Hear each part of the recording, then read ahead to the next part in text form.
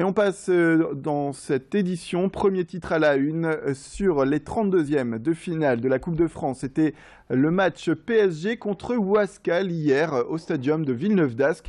Un match improbable pour l'équipe nordiste en quatrième division, mais aussi un grand moment que le club de Wascal n'avait pas vécu depuis 1991. Les amateurs nordistes ont longtemps tenu tête aux stars parisiennes, mais ils ont dû finalement s'incliner à 1-0 à la 61e minute. Wascal qui a véritablement mérité les honneurs avec euh, ce score seulement 1 à 0 euh, pour une équipe de 4 division. Un score donc assez avantageux. Mais avant cela, les amateurs nordistes avaient quasiment fait jeu égal avec les Parisiens avant ce but d'Ibrahimovic, avec plusieurs offensives même qu'ils ont pu contrer contre le PSG à la 7e et à la 12e minute. Le public est tout de même reparti déçu, le public de Wascal, mais aussi fier d'avoir assisté à cette rencontre. Guillaume Van der Schag, le rédacteur en chef du magazine Sprint, était d'ailleurs sur notre plateau ce matin pour nous parler un peu plus en détail de ce grand match. Même si euh, Wascal n'est pas passé, en même temps on pouvait s'y attendre face à l'ogre parisien. Hein, Wascal peut être fier de son parcours jusqu'en 32e de finale. Le West Wascal sort la tête haute et par la grande porte de, Dame Coupe de France. Face au PSG, les mauvaises langues annonçaient déjà un, score fleuve, hein, un 7-0, 10-0, voire au-delà. Il n'en fut rien. Les joueurs de Carlos da Cruz se sont même créés davantage d'occasions que les Parisiens lors de la première demi-heure de jeu. Et puis ensuite, eh bien, forcément, euh, la machine parisienne, la solide de machine parisienne eh bien, a accéléré au moment venu. Il n'y avait pas un monde d'écart hein, ce week-end entre Wascal et le PSG. Il y avait du monde, c'était une belle fête du football. Euh, dommage, l'exploit était pas très loin. Et on passe dans cette édition aux grands changements qui attendent donc euh, les nordistes, les Français également, euh, des grands changements donc nationaux et bien sûr en région. Euh, vous le voyez sur cette animation qui s'affiche à l'écran, la complémentaire santé qui vient pour tous les salariés, 50% financé hein, par l'entreprise, cette mutuelle qui s'est désormais disponible. L'augmentation également du SMIC, on y reviendra, mais aussi la réunification du Nord-Pas-de-Calais-Picardie. Et ce SMIC, 6 euros net par mois en plus pour un salarié au SMIC à 35 heures euh, cette augmentation du SMIC qui intervient depuis le 1er janvier. On parle aussi de la création hein, de la prime d'activité pour 5,6 millions de bénéficiaires euh, pour les travailleurs qui gagnent environ moins de 1500 euros net par mois. Et on parle aussi de l'augmentation pour 2016 du timbre, avec par exemple la lettre verte qui passe de 68 centimes à 70 centimes pour euh, donc ce timbre, et la hausse du prix du carburant qui intervient également hein, depuis le 1er janvier avec le samplon 95 qui prend 2 centimes d'euros, et le gazole euh, qui lui aussi augmente avec euh, plus 3,5 centimes d'euros.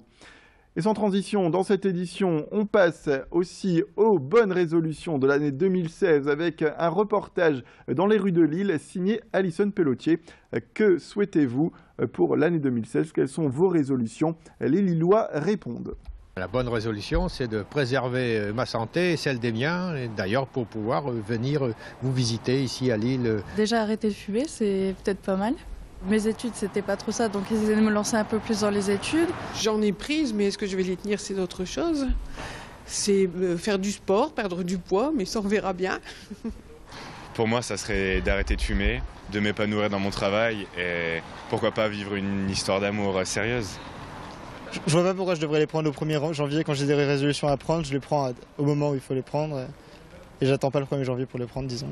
Nous devons apprendre à vivre ensemble comme des frères, sinon nous périrons ensemble comme des imbéciles. Et dans le reste de cette édition, quelques images d'un restaurant euh, créatif installé pour l'île 3000. C'est à découvrir la maison Folie de Moulins. C'est une création de Pete Bergman, un chef créateur hollandais qui s'est installé avec sa décoration et de son univers assez particulier, un univers simpliste pour proposer une cuisine tout aussi simple et faite maison. Ça, c'est une grande importance pour lui. C'est un véritable baroudeur hein, et qui est aussi ébéniste de formation. Et il s'intéresse aujourd'hui à toutes les formes de cuisine.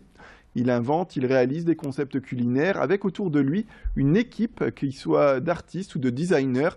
Il a créé son entreprise en 2001, d'où le lien avec l'île 3000. Aujourd'hui, euh, la collaboration, les valeurs nostalgiques, l'improvisation euh, des cuisines du monde sont des ingrédients de base pour créer du lien entre les visiteurs Son projet culturel et culinaire est d'ailleurs encore à découvrir à l'île Moulin, la maison Folie, les deux prochains week-ends. Je vous propose d'écouter tout de suite l'interview de cet artiste qui nous parle un petit peu de sa cuisine et de son concept de création de lieux. Le meilleur résultat que je puisse avoir est de voir les gens comme s'ils étaient à la maison, comme s'ils se sentaient chez eux. Et parfois, les gens vont dans un endroit que j'ai créé, car ce n'est jamais pour longtemps, c'est toujours éphémère, ça a toujours une fin. Et donc, parfois, les gens viennent vers moi et me disent qu'ils ne savaient pas qu'il y avait un tel endroit et qu'ils ne connaissaient pas justement un tel lieu. Et je leur explique alors que c'est juste temporaire mais alors ils me disent euh, qu'ils ont l'impression, au contraire, que ça a toujours été là. Et c'est vraiment là le genre de compliment qui me touche le plus, euh, car ça montre que les gens ont alors le sentiment d'être chez eux. En fait, dans ces pièces et dans ces endroits que je crée, tu ne sais pas d'où les gens viennent, mais au moins tu peux essayer de les réunir et qu'ils ne forment plus qu'un en réalité. C'est la fin de cette édition. Tout de suite la météo et l'infotrafic.